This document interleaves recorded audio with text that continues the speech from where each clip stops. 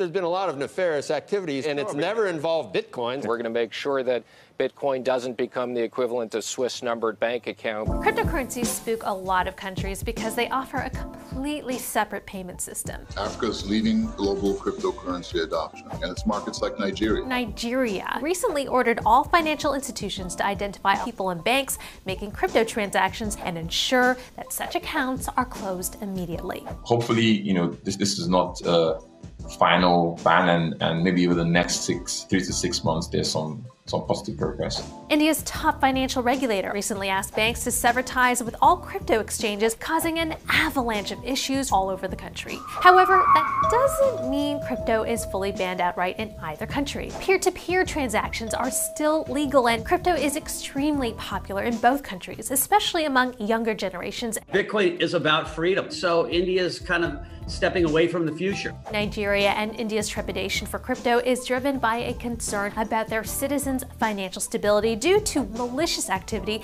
in the crypto world and the volatility of crypto markets themselves. Other governments are going even further. Belarus, under the direction of authoritarian leader Alexander Lukashenko, is aiming to take more control over digital currency and driving many IT entrepreneurs out of the country in the process. Massive peaceful protests have gripped Belarus calling for an end to what's known as Europe's last dictatorship. Bitcoin played a huge part in the anti corruption protest after the last controversial election by circumventing traditional systems and surveillance, which Lukashenko wants to squash if possible. Although it's not 100% clear he fully understands how cryptocurrency works. Майнинги, прочие, фермы создать. Подождите, атомную станцию уведем, излишек электроэнергии, я там место оставил. China has been steadily rolling out more restrictions on crypto recently, creating a huge market dip after reiterating stances from 2013 and 2017 that banned financial institutions from handling crypto. Most of China's concern is capital flight, or people using crypto to move money outside their borders. China is simultaneously creating their own state-run cryptocurrency that will more likely than not be used as a surveillance tool. That's a story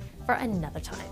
Last but never least is Russia, where public officials were banned from using crypto last year. Meanwhile, crypto has been a fundraising tool for civil rights activists and independent journalists who are working against the state narrative. As crypto markets rise and continue to disrupt global finance, this is probably only the beginning of countries trying new ways to control their influence.